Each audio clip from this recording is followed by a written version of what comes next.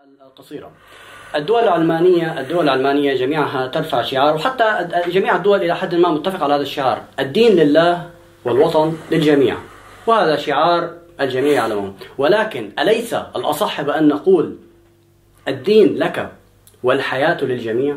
الدين لك لتبني منهج حياتك لتبني منهج منهج أخلاقك لتبني حياتك كما تريد بدون أي بدون أي وازع إجباري إجباري أو اختياري كدين. ولكن ولكن الحياة من حق الجميع. لا يحق لأحد إنهاء حياة أحد تحت سلطة قانون تحت سلطة مشرع تحت سلطة دولة. فكيف ترى هنا؟ الذين يتحدثون عن الدين آه، باعتباره للفرد كأنهم يقصرون الدين على العقائد. كما قالوا الدين لله والوطن للجميع. نعم. ولكن هنا ولكن هنا مع الأسف في هذه في هذه في هذه المساحة أو الفراغ الكبير دخلت القوميات ودخلت الطائفيات ودخلت اللا اللا وطنيه ودخلت الطائفية مع الأسف. واصبحنا وأصبحنا مشتتون. مشتتون. من أنت؟ من تعبد؟ من من إلهك؟ ما دينك؟ ما قوميتك؟ أصبحنا لا نعلم شيء. ولكن ارني أرني دينك أرني دينك كما كما قال كما قيل عن الرسول عليه الصلاة والسلام إسلام يمشي.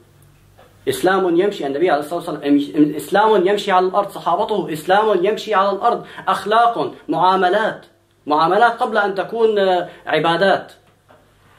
نعم. الذين يتحدثون عن الدين باعتباره للفرد وهو اختيار فردي هؤلاء يقصرونه على العقائد والعبادات وهذا كلام صحيح. العقائد والعبادات هي اختيار فردي لا يحق للناس أن يتدخلوا فيها وهي محمية بقوانين العالم جميعا. لكن هناك جانب في الأديان جميعا. هو تلك القيم التي ركزت عليها الأديان عقائدها وركزت عليها عباداتها. والإسلام من بين الأديان إلى جانب المسيحية واليهودية كذلك لكن المسيحية بشكل خاص. نعم. والإسلام لها قيم إنسانية وهذه القيم هي التي نريد حمايتها والتدين من هذا الجانب يصبح قضية إنسانية تعني الجميع. نحن لا نريد أن يوجد دين في العالم يتنافى الحرية ويتنافى حق تقرير المصير ويدعو إلى العنصرية الجنسية أو العنصرية البشرية. والأديان التي تدعو إلى ذلك لا نعتبرها دينا ونستبعدها. اليوم الإسلام كالمسيحية. له قيم إنسانية قيمة المحبة قيمة الأخوة قيمة العامل العمل للصالح العام. هذه قيم محفزة لنمو العالم. لا نستطيع أن نستبعدها. لا نستطيع أن نأتي لمجتمع متدين ونقول لهم استبعدوا الدين نحن نريد تنمية. نحن نريد التنمية على أساس القيم الدينية التي تؤمن بها. فالدين هو عنصر تحفيز وعنصر تغيير وعنصر بناء وتشييد. الذين يتحدثون عن الدين اليوم يستعملون عنصر فرقة. ويدعون أنهم متدينون وهم يضربون الدين في صميمه.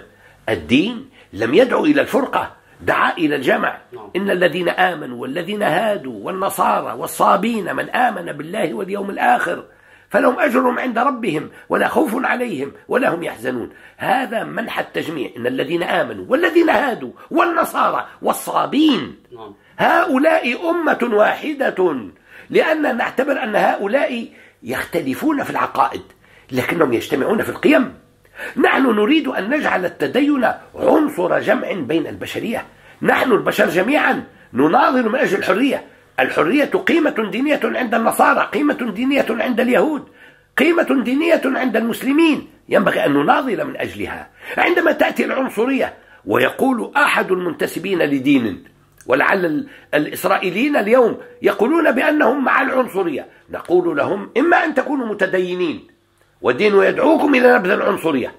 فإذا أصررتم على العنصرية واستبعدتم العنصر العربي من حق القرار في إسرائيل فأنتم عنصريون لا حاجة لنا بكم. أنتم ضد الإنسانية. وخاصة خاصة بعد بعد أن شهدت منظمة اليونسكو باعترافها أن المسجد الأقصى هو صرح إسلامي كامل بامتياز فما كان من من إسرائيل إلا أنها لغت أي علاقاتها ولغت كل تعاملاتها مع هذه المنظمة. هذا مدخول عليه. الذي أقوله يا ابني أن الدين يبقى حقيقة في المجتمعات. العالم كله متدين إلا أوروبا. أوروبا متدينة بنسبة 30% لكن بقية العالم أفريقيا متدينة 98% على اختلاف أديانها. آه، آسيا متدينة بنسبة 80% أمريكا الجنوبية متدينة بنسبة 93% أمريكا الشمالية متدينة بنسبة 80% الدين حقيقة في العالم إلا في أوروبا. لأن أوروبا تقود العالم يريدون منا أن نبتعد عن كلمة دين. نحن لا نعتبر الدين ملزما لغيرنا حتى تبتعد كلمة الدين من نضالنا. ونحن لا ننطلق من منطلقات دينية عقدية عبادية. ننطلق من منطلقات إنسانية تجمع الأديان جميعا لتحقيق إرادة الإنسان في الحرية.